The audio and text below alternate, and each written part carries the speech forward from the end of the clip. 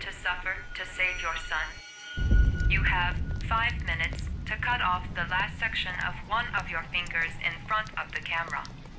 If you succeed, you will get your reward.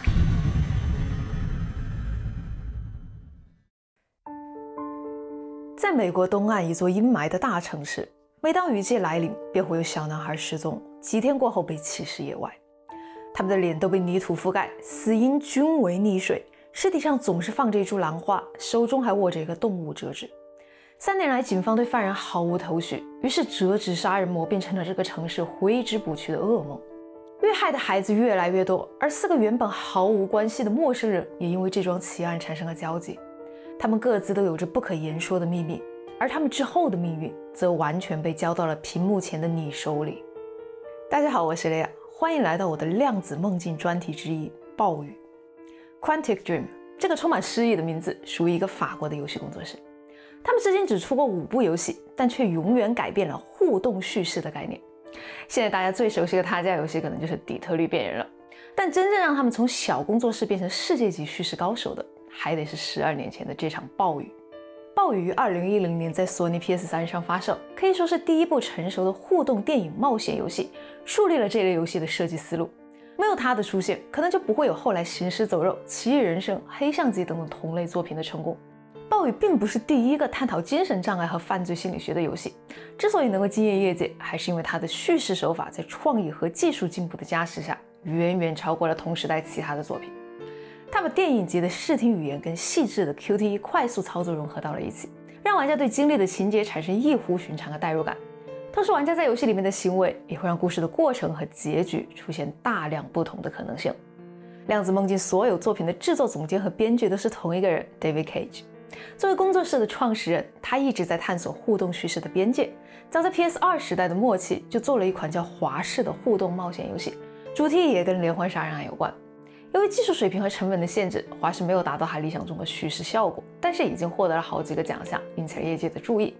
他分析了华氏的优缺点过后，就开始设计暴雨的剧本和玩法了。暴雨的背景被设置在了一个虚构的现代都市，灵感源自美国费城。在 David 的口中，它是一部成人向的黑色惊悚电影，主旨是你愿意付出多少去拯救你爱的人。David 一开始给暴雨项目找的投资方是微软，但是微软一听到游戏涉及到绑架和谋杀儿童，为了避免争议就拒绝了他。幸运的是，索尼的高层是并不介意这样的主题的。索尼很快就跟量子梦境建立了合作关系，为暴雨砸下了四千万欧元的预算。有了这样的手笔，制作组才能大量使用当年最顶尖的面部技术，让游戏尽量接近 David Cage 理想中的心态。暴雨的镜头语言和场景氛围在当年都是出类拔萃的。主要演员的表演极其生动，剧本更是庞大，达到了两千页，超过一般电影的十倍。其情节错综复杂，中途变数很多，结局则是四个主角十七种不同命运的排列组合。玩家需要不停地在场景之间往复跳跃，在主角之间来回切换，而扮演每一个主角的感受都同样真实。玩家除了探索场景以外，也可以一键调出主角当前的内心活动来听。他们会在同一时间出现很多想法，其中有些还是自相矛盾的，会影响到玩家对一件事的看法，从而也影响玩家做出的选择。这已经不光是游戏，而是一场把方向盘交到玩家手里的戏剧。这道故事可能因为自己的选择和失误出现完全不同的展开，玩家感受到的悬念自然就被无限放大了。这是传统叙事永远达不到的效果。我们都知道传统叙事是线性的，比如说书籍和电影，故事都只能按照编写好的唯一方向发展。但是电子游戏是有交互性的，所以叙事就有了新的可能。我们不再是被动的接受剧情，而是可以主动去参与。暴雨叙事的亮点之一是多视角，要交替控制四个不同的主人公，以不同的视角和路线去接近同一个真相。而因为玩家可以在一定程度上决定主角的行为，这就让视角的交汇变得特别有趣。比如说我在 A 视角做的一件小事，可能就会影响到未来 C 视角的剧情进展。又比如说结尾部分的反转。如果你跳出游戏，进入上帝视角，把暴雨的剧情当做一个悬疑小说来看，就会觉得凶手的设置呢其实不算新鲜，甚至有些细节上没写到位的漏洞。但在游戏里面，这个反转却可以大大的震撼玩家，因为制作组就是利用互动叙事下玩家主动参与的特性，做了一个很巧妙的设计。当然，如果要聊这个设计呢，势必就要涉及剧透。但悬疑故事还没讲就剧透的话，就没意思了嘛。所以，我呢还是回到游戏的开头，先带大家经历一遍暴雨这个黑暗的故事，再继续分析。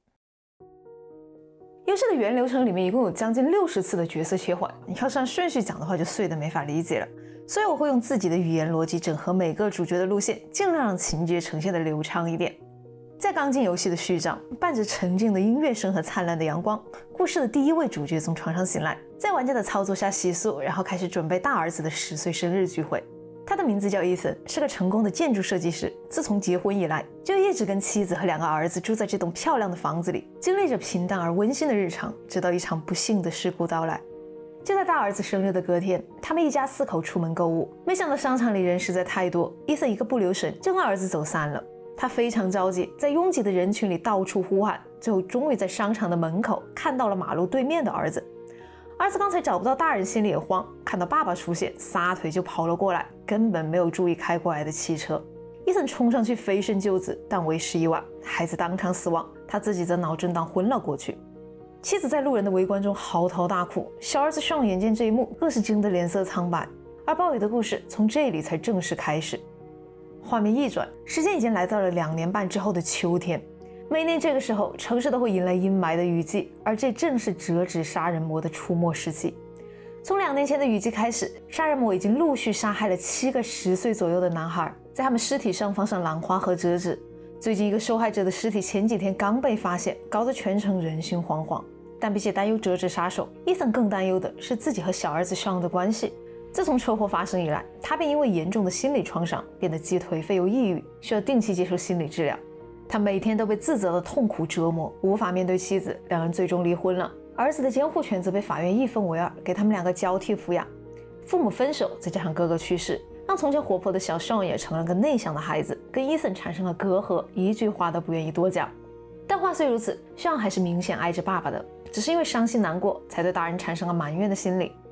一天，伊森接儿子放学回家，收到了一封寄件人不明的信。字体像是老式打字机打出来的，写着几段诡异的诗句。When the parents came home from church, all their children were gone. They searched and called for them. They cried and begged, but it was all to no avail.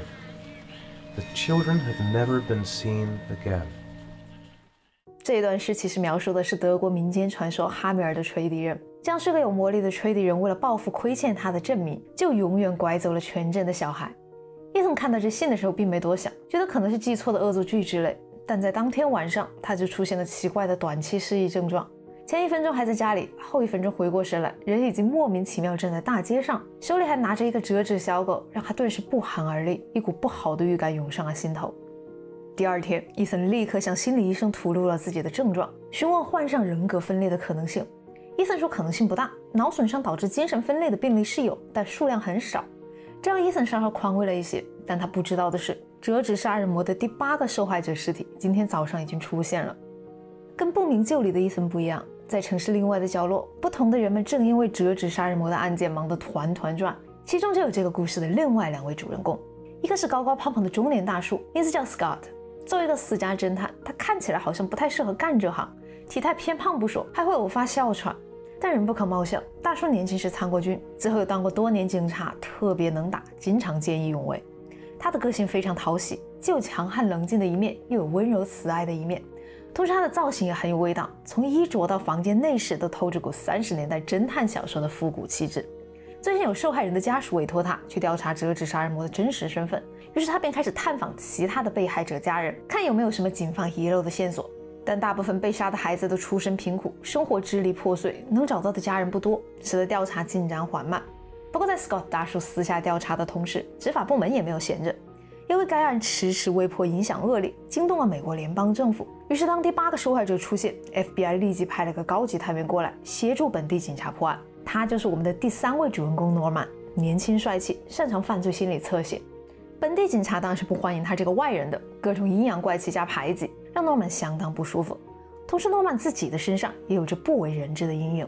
他使用的查案工具是 FBI 秘密测试的 ARI 系统，由一副眼镜跟一只操作手套组成，既可以实时分析现场细节，也可以制造虚拟现实。从游戏性的角度来说，用这个东西查案真的很爽，效果就像是《地平线》里面的全息眼镜跟巫师里面猎魔人感官的结合，让诺曼成了玩起来最有意思的一个主角。但从剧情的角度来说，ARI 系统就很坑爹了，会对部分使用者造成脑损伤。罗曼很不幸就是其中之一。如果我们在故事后期过度使用，甚至可能导致他当场死亡。FBI 发了一种蓝色药物给 Norman，可以暂时抑制 ARI 系统的伤害，但这个药本身副作用也大，喝多了还会上瘾。于是 Norman 每天都在跟自己的药瘾对抗，常常处在崩溃的边缘。这样的设定也赋予了这个精英角色一层脆弱阴暗的气质。Norman 刚抵达室内，就去城市现场逛了一圈，马上靠 AI 系统发现了一些小线索。虽然折纸杀手把自己的踪迹隐藏得很完美，但结合以往受害者的数据，Norman 已经能分析出凶手的基本人格特征和杀人手法。他立即返回警局整理案情，没料到傍晚时分，又有一个十岁的男孩失踪了。男孩的家长跑到警局来报案，他不是别人，正是第一男主角伊森。原来在几个小时前，伊森带放学后的儿子去公园，父子俩玩得很是开心，终于找回了一些过去亲密的感觉。但就在上岸去做旋转木马的时候，伊森一阵头晕，又出现了幻觉和短暂的失忆。等他回过神来，已经是在离公园很远的街上，天色都黑了，上也不见踪影。而他手里又握着不知道哪来的折纸，伊森不禁惊慌失措。当年在商场弄丢儿子的恐惧立刻涌了上来，他大喊着向的名字往公园狂奔，但一路都没有孩子的身影，公园也早已空无一人，只剩下上的书包丢在地上。无奈和绝望之下，伊森只能求助于警方，同时隐瞒了自己失忆和拿着折纸的可疑情况。赶来的前妻哭着对伊森疯狂埋怨，让他再一次陷入了自责的深渊。而警探们听到案情后，虽然嘴上不跟伊森明说，但已经默认把这事儿当做折纸杀人案处理了。根据诺曼的分析，折纸杀手的受害者从失踪到被杀的间隔时间在三到五天不等，看似随机，但把尸检测出的死亡时间跟天气记录一对比，就会发现一个不变的指标——降雨量。每个受害者死的时候，降雨量都达到了一百五十毫米左右。由于凶手只在雨季作案，且受害者的死因均为溺水，所以可以大胆推测，他的杀人手法是把孩子关在蓄水池一类的地方，利用暴雨带来的水位升高，让他们被雨水活活淹死。换句话说，雨下的越大，孩子剩下的时间就越少。也难怪游戏会在每次视角切换的时候提示玩家目前的降雨量。全警局顿时进入了紧张的加班状态，开始排查嫌疑人。而第九个受害者被绑架的重磅消息也迅速传了出去。听闻消息的侦探大叔 Scott 加快了自己的调查，他连夜找到了另一个受害者的父亲，是个英语不太灵光的便利店主。店主的儿子都死了两年了，本来不想再谈伤心事，要赶走大叔，但好巧不巧撞上人持枪抢劫，靠大叔的英勇才制服了劫匪。出于对大叔的感谢，店主敞开心扉，拿出来一个鞋盒。他说儿子出事那段时间，自己收到过一封奇怪的信，里面有张储物柜存票，放的就是这个鞋盒。店主弄不懂盒子里一堆道具的含义，但他确信一定是凶手想传达某种讯息。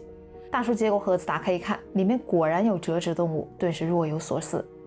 第二天早上，他要赶往最近的第八位被害人家中，居然撞上被害人母亲正在自杀，赶快把人给救了下来，还顺便帮他哇哇大哭的女儿换了尿布，喂了奶。可怜的女人说，上周她儿子失踪过后，丈夫也跟着不见了。现在儿子死了，丈夫人间蒸发，她独自面对襁褓中的女儿，无助之下才有了轻生的念头。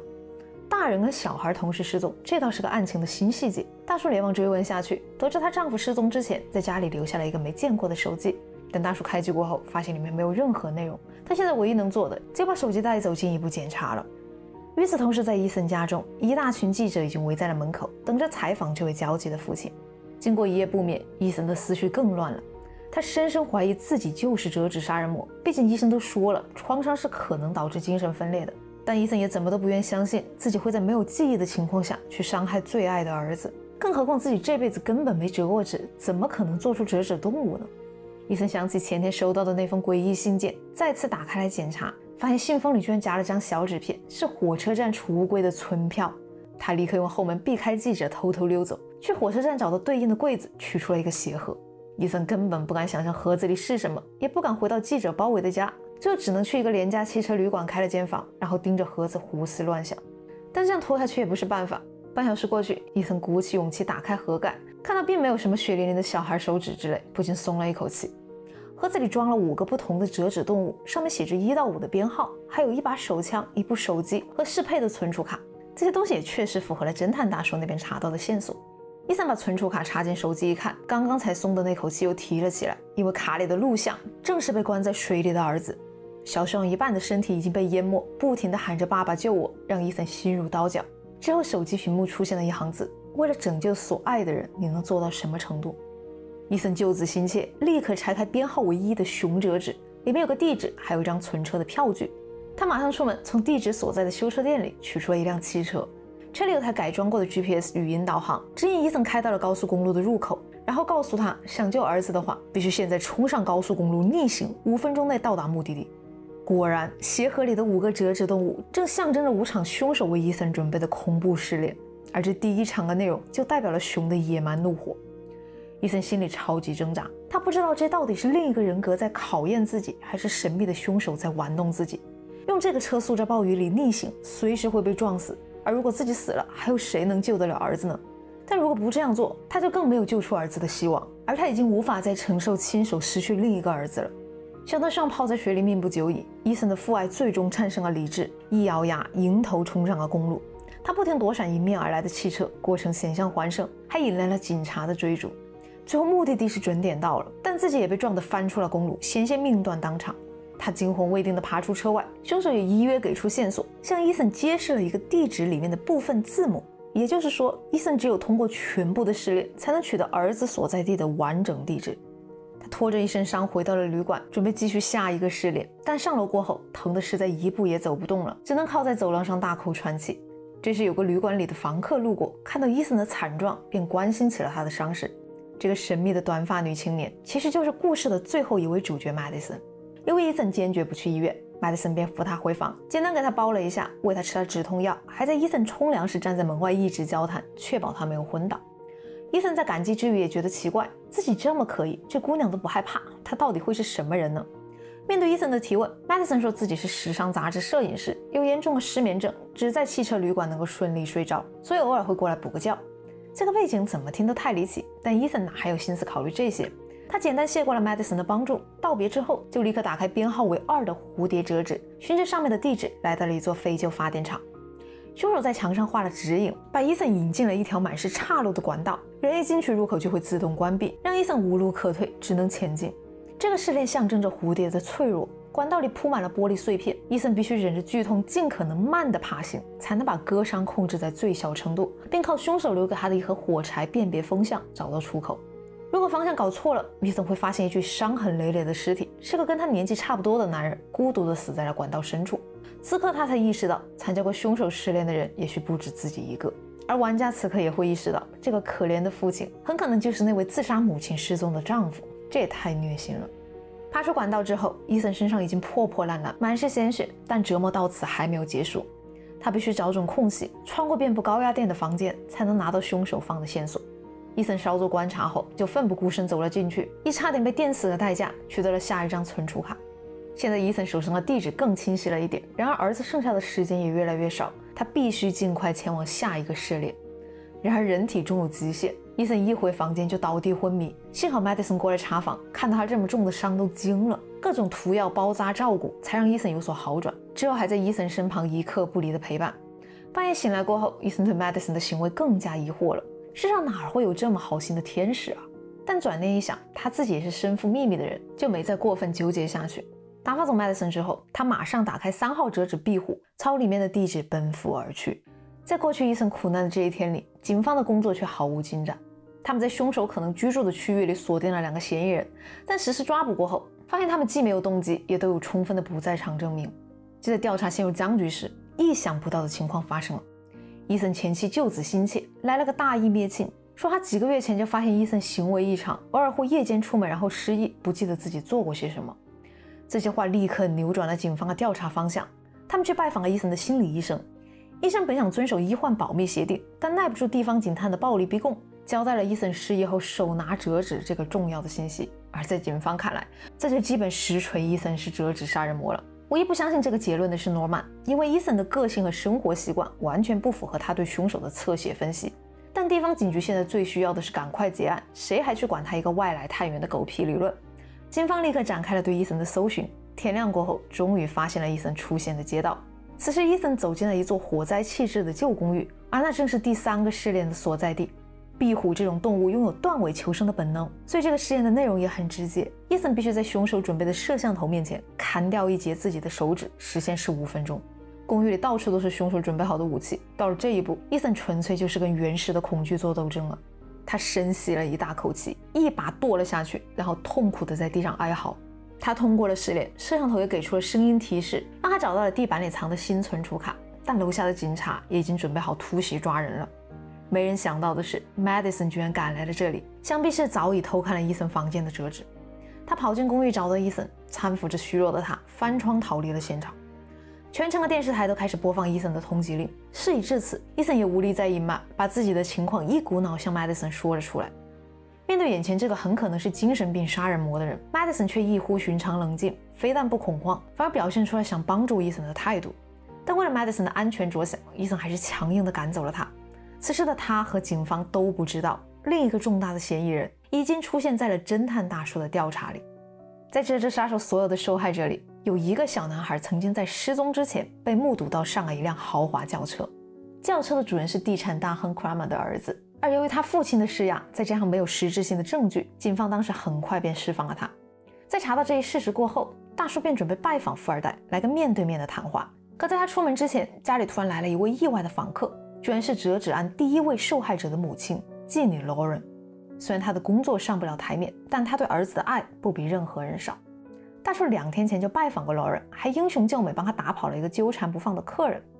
Lauren 当时想不起什么有用的线索，等大叔走后，他才记起自己前夫在案发时收到过一封信，而为了帮惨死的儿子讨个公道，他就拿着那个信封来找大叔了，并且坚持要加入大叔的调查，才肯把信分享。大叔拗不过 Lauren 的执着，就带着他一起去了富二代的豪宅。没想到 Lauren 真的是个得力的助手，多亏了他的演技，大叔才能绕过保镖，偷偷上二楼的卧室跟富二代对峙。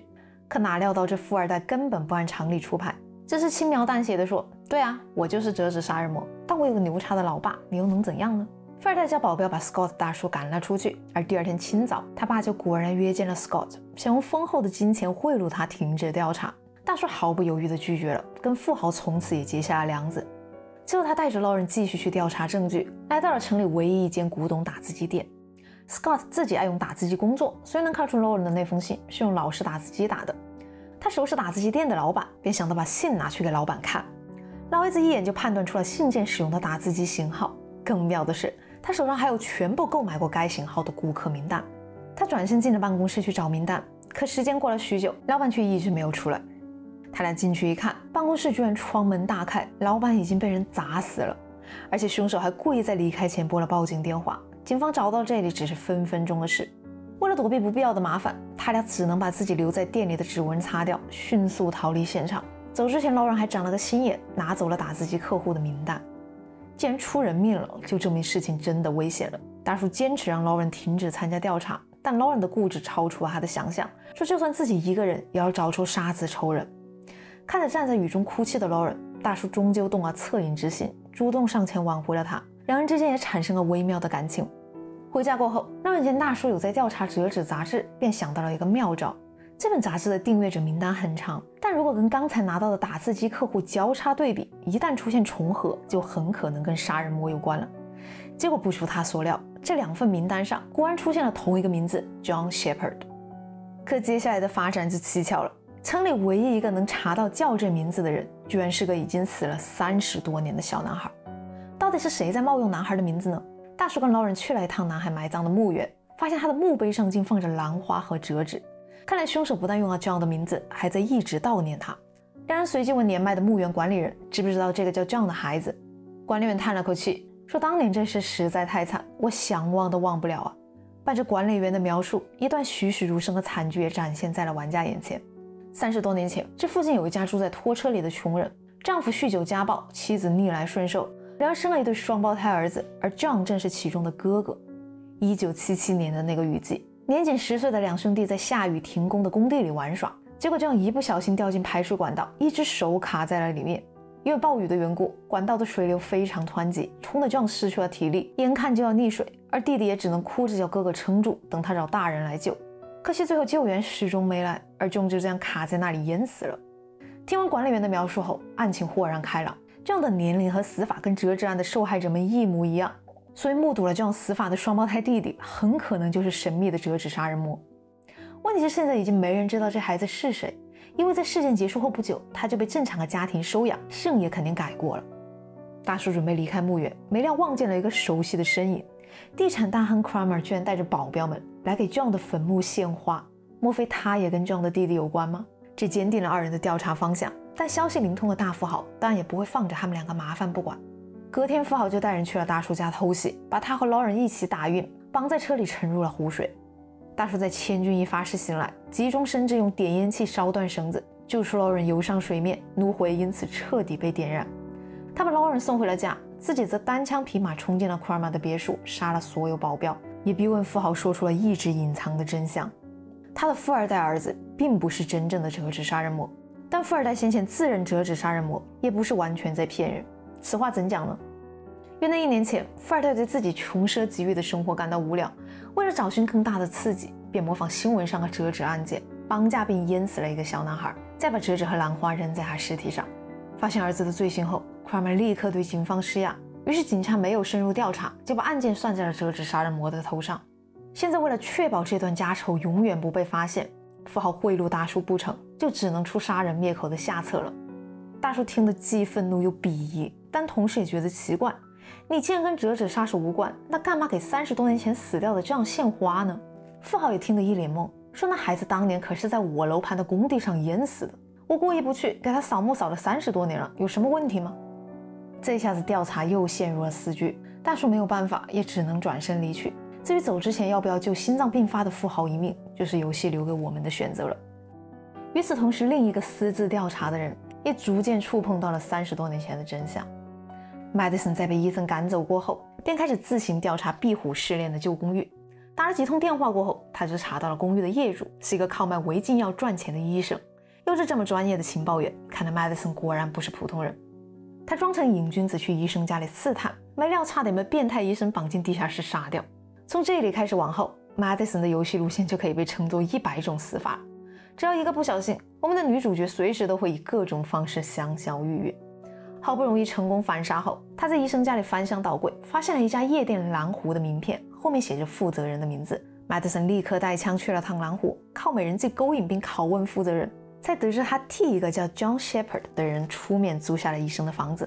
这个样只付现金，钱多事少，所以负责人也乐意帮他办事。此时的 Madison 当然不知道这个是杀手用的假名，但是对他来说，只要有那个名字就好查了。他前脚刚离开夜店，探员 Norman 也通过追查到达了这里。白天，他分析了孩子失踪时公园附近的监控，发现凶手用的车是一辆赃物，来自一个前科累累的偷车犯。偷车犯现在是废车处理厂的老板。面对 Norman 的提问，他装傻充愣，但 Norman 一启动 AI，就看见了吻合记录的车胎痕迹以及车库里面的大量血迹。原来这老板不但偷车，而且为了自保，连警察都敢杀。之前一个来问过他话的警察，已经被他扔进了硫酸池毁尸灭迹。诺曼被迫跟老板打了一架，才撬开了他的嘴。凶手的确长期在这里用现金买黑车，但老板根本不在乎他拿车去干嘛，所以也从没问过他姓甚名谁。只是每次都会按凶手的吩咐，把备好的车送去蓝湖夜店。诺曼来不及逮捕老板，AI 的副作用突然出现，让他一阵晕眩，瘫倒在地，成了案板上的肉。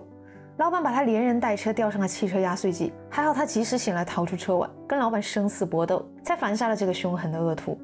他随即立刻赶往蓝湖夜店，跟 Madison 擦肩而过，走进夜店办公室，没料负责人此时已经被人爆头，连血都还没干。谁料在 Madison 离开和 Norman 抵达的这段时间里，凶手已经完成了杀人灭口的操作。但凶手也是人，这点时间根本来不及逃走，就只能藏在屋里，趁 Norman 不备跟他扭打了起来。这个神秘人打得诺曼难以还手，只能眼看着他逃走。不过诺曼也撕破了他的裤带，调出了两张纸片，成为了案件最关键的证据之一。虽然凶手全程蒙面，但他的体型跟伊森差异巨大，也让诺曼进一步确认了伊森的无辜。而此时的伊森已经前往了第四个折纸试炼鲨鱼，其内容简单粗暴，就是让伊森拿上枪去杀死一个指定的人，象征着鲨鱼的致命。这对伊森来说比断指更加可怕。他能为了儿子伤害自己，但要杀死一个素未谋面的陌生人，他真的做不到。伊森去到指示了地址，一番混乱制住了对方。可听到对方也是两个女儿的父亲，我的伊森最终选择了放下枪支，飞奔离开。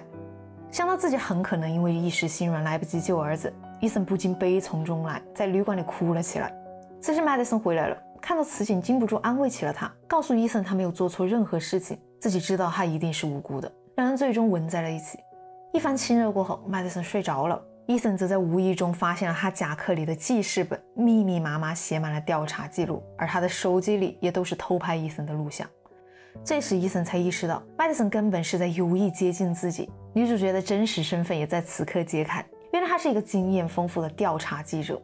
根据后来 DOC 的剧情补充，麦迪森早在两年前就开始追查折纸杀人魔，想把扣人心弦的真相写书出版。至于他的失眠症，则源自从前在伊拉克当战地记者的精神创伤。伊森无比的愤怒，他没想到逆境中唯一的心灵依靠，居然只是个利用自己的骗子。而麦迪森也同样难过，他坦言自己一开始接近伊森确实是为了查案，但现在真的爱上了伊森，不告诉他真相，只是因为怕他生自己的气。事实上，麦迪森对伊森的照顾和帮助的确不是假的。要是没有他，伊森又哪里坚持得到今天这一步？是否原谅麦迪森是游戏给玩家的选择，关系到两人后来的感情。但不管原不原谅，警方此时都找到旅馆来了，伊森也没时间再纠结了。想在这里逃走非常困难，伊森身负重伤，一个失误就会被警察抓获。见伊森被警察带走，麦迪森在心急之下只能加快寻找真凶的下落。他迅速查到了 John Shepard 这个名字的来历以及背后的故事。虽然由于儿童领养系统的保密性，他无法查证 John 双胞胎弟弟的下落，但可以查到他亲生母亲的去向。老太太患有老年痴呆，过去十年来都在政府养老院生活。神志时而清醒，时而迷糊。Madison 反复耐心地询问，一旦还说出了年轻时爱在家里种兰花，以及喜欢教儿子们折纸的事实。最后，，Madison 利用兰花的气味，终于勾起了老太太片刻的回忆，问出了他小儿子的真名，以及领养他小儿子那家人的姓。此刻，真相已经近在咫尺。另外几位主角的调查也都来到了关键点，大家的道路即将交汇。伊森被带回警局过后，完全不配合警方的问话，只是重复的告诉他们，现在没人能找到凶手，儿子只有自己能救，并恳求警方放了自己。而坚信伊森无罪的诺曼，最终做了一个大胆的决定，趁人不备时关闭了监控，真的放走了伊森。逃出警局后，伊森就径直奔赴老鼠折纸上的第五个试炼地点，希望能获得最后的一点线索。老鼠象征着致死的病毒和瘟疫，而这个试炼的内容就是让伊森在自己和儿子的生命中二选一。凶手准备了一瓶致命的毒药，只要伊森喝下，就能获得地址最后的字母。凶手在留言里告诉他，毒药的发作时间是一小时，刚好够他找到儿子。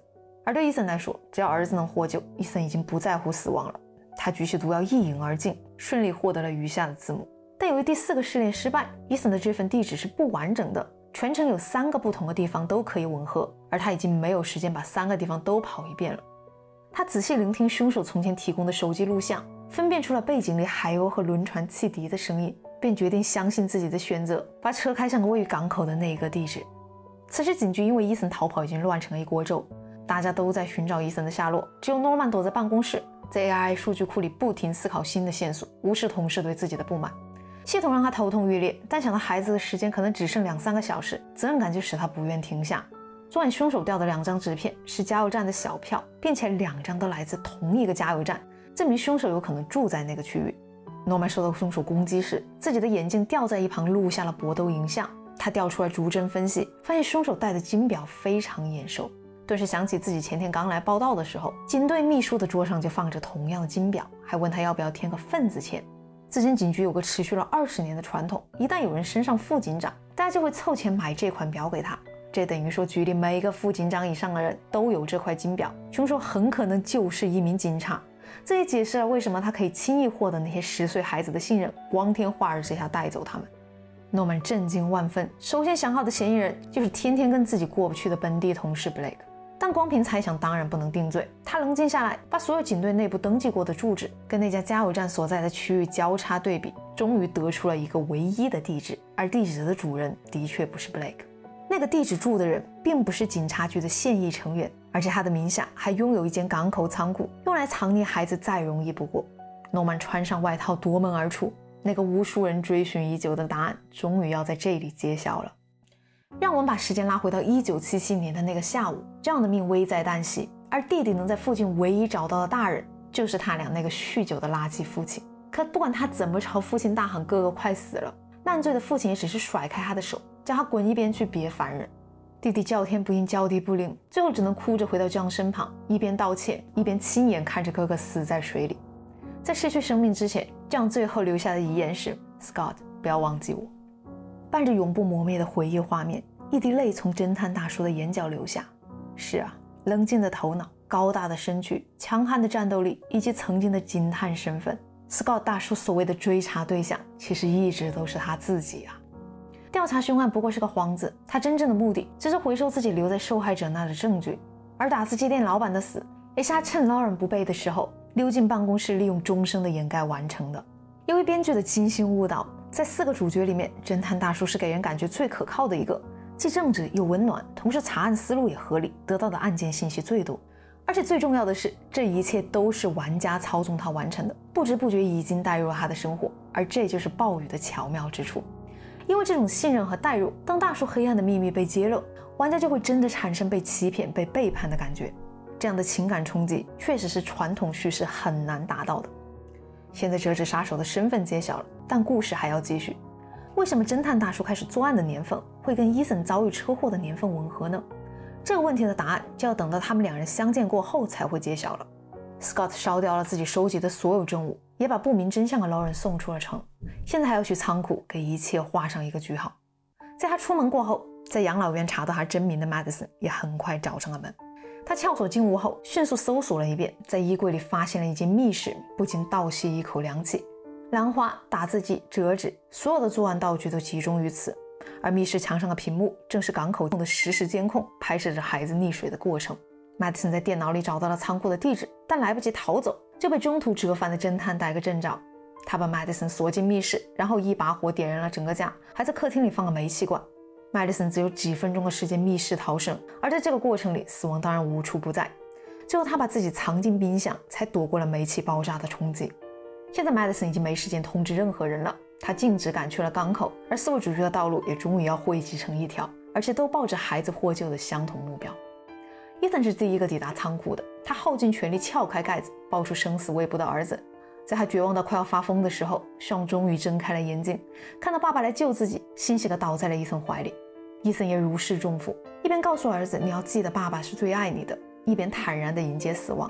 可没想等毒药发作的时间到来，他却没有任何感觉。这时折磨伊森的罪魁祸首才终于登场，对他说出了自己的心里话。十岁时，哥哥被父亲的忽视害死，给 Scott 留下了终身的阴影，埋下了扭曲的种子。之后，他来到正常的幸福家庭，长大后成为了一名正直的执法者。这颗种子本该永远埋在他的心底，但两年半前，他在商场门口目睹了伊森的车祸。伊森那飞身救子的形象，深深地冲击了他的神经，扭曲的种子就此发芽。这世上真有为了儿子可以克服万难、付出一切的父亲吗？Scott 至此开始在雨季绑架孩子。把哥哥的遭遇安到他们身上，只为了找到一个自己心目中的完美父亲。但那些受害孩子们的爸爸，不是无视他的考验，就是临阵脱逃。好不容易有个豁出去的，还死在了考验里面。于是侦探才最终转向了那个刺激他成为折纸杀手的父亲伊森。发现伊森有失忆症过后，侦探轻松地拐走了他儿子。而伊森的表现果然不负侦探的期许。如今伊森就此成功，Scott 最大的愿望已经实现了。所谓的毒药也不过是用来考验伊森的谎话。现在就算伊森当场杀死他，他也再无牵挂了。如果另外两位主角没能出现在仓库，那么伊森就要在这里选择侦探的命运。但我的神探诺曼已经查出了仓库地址，自然不可能缺席。在伊森和侦探对峙的时候，诺曼冲出来，飞身扑倒了侦探，最后一路追逐上了屋顶，两人在垃圾传送带上打了起来。而最后赶来的 Madison 则看到仓库已被警方包围，无数的枪口对准了大门。他知道伊森要是就这样走出来，势必会被射成马蜂窝，于是拼命挣脱了阻止他上前的警察，冲进仓库提醒了伊森，才没让这位伟大的父亲迎来被乱枪打死的结局。最后，在跟侦探的扭打搏斗中，诺曼耗尽全力勉强生还，侦探则跌进了垃圾处理机，粉身碎骨。这场三十多年前一个坏父亲种下的悲剧，到此刻才完全的画上句号。在这样的玩法路线下，暴雨迎来了一般意义上最好的结局。折纸杀手的真实身份曝光，伊森沉冤昭雪之后，就带着儿子跟麦迪森开始了新的一家三口生活。诺曼回 FBI 后，作为英雄探员接受嘉奖，只可惜脑损伤导致的幻觉已经很难根治。至于死去的侦探大叔，他的坟前只有一个访客，并且没有怀念，只有唾弃。那正是回到城里的 Lauren，正在哭着咒骂这个杀了自己儿子，还欺骗了自己爱情的男人。但不管留下了多少伤痛，折纸杀手的阴影现在总算是离开了这个城市。人们可以试着忘掉雨季，奔赴新的生活了。当然，这个故事的可能性远远不止这一种。比如说，在其他人都没查到仓库的情况下，马特森将有机会独自一人救出孩子，解决凶手，成为真正意义上的女英雄，并且把自己的故事写成畅销书。而如果孩子没能及时获救溺死了，那么无论伊森的结局怎样，是沉冤昭雪、美人相伴，还是身陷囹圄，最后都会因为绝望而自杀。我们甚至能去协助侦探大叔的犯罪计划，故意让所有威胁到他的人死掉，再让他成功逃脱，达成真正意义上的完美犯罪。是我们做出的选择和操作是否失误，主角和很多配角的命运都可能改变，一些疑点的线索也可能会错过，从而产生蝴蝶效应，改变未来的故事走向。这个特性把暴雨提升成了一种新的互动体验，发生在每个角色身上的每一件坏事都感觉像是我自己的失败，而他们的每一次胜利也感觉像是我自己的胜利。但作为《量子梦境》第一次的大制作，暴雨也并不完美，存在一些明显的缺陷。作为一零年的游戏，它采用的角色移动机制明显过时了。转动摇杆的时候，必须同时按住行走键，人物才会动，并且很多狭小的场景都采用了固定视角，简直有种回到 PS2 上玩寂静岭的既视感。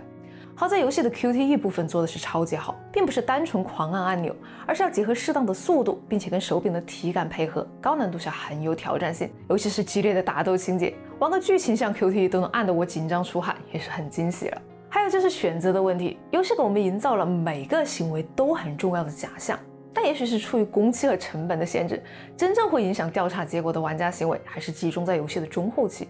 前面的章节不管你怎么玩，对调查结果的影响都不大。尤其是探员诺曼这条线，前期线索就算全部错过都无所谓，因为最后能让他查出真凶的线索，只有夜店里面捡的那两张加油站小票。发现这一点过后，我的参与感顿时就打了折扣。更明显的一个问题是剧情的缺失。据官方资料，女主角当过战地记者的背景来自剧本的原案，但是不知道为什么没在游戏里交代，这就导致她失眠症和梦魇的设定没有有力的理由支撑。更莫名其妙的是，伊森每次失忆后手里拿的折纸，这么重要的一个疑点，最后却没有明确交代答案，只用凶手蓄意接近过他的设定草草带过，这就破坏了故事的连贯性，让玩家不禁觉得制作组的误导手段太过刻意。不过嘛，多亏了本作叙事手法带来的冲击性，这些剧情上的漏洞就被缩小了不少，也属于是瑕不掩瑜了。自从一零年玩过暴雨过后，我才真正对这种互动叙事冒险游戏产生了兴趣。但是，就算后来玩了其他公司的同类作品，我还是觉得《量子梦境》的叙事方法是独一家的。QTE 系统特别细节，还跟剧情节奏无缝结合，沉浸感真的强。就我个人的观点，《暴雨》是游戏史上一部很重要的作品，因为它确实把电子游戏的叙事提升到了新的水平，影响了不少厂商，也影响了《量子梦境》自家后来的作品，也就是《超凡双神》和格局更惊人的《底特律变人》。当然，这两部呢，以后有时间的话我也都会讲。不过今天的内容到这里就差不多了。如果大家喜欢我对暴雨的解读，不要忘了点赞转发支持一下我噻！也欢迎大家在评论区里面讨论自己对暴雨的看法。我是雷亚，下期影片再见。